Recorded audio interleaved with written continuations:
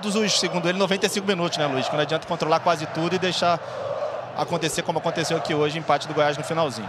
Aí a briga Arão Gabigol. Gerson dando uma segurada ali. Diogo também chega. O Mister. Olha o Mister pagando ali pro Arão.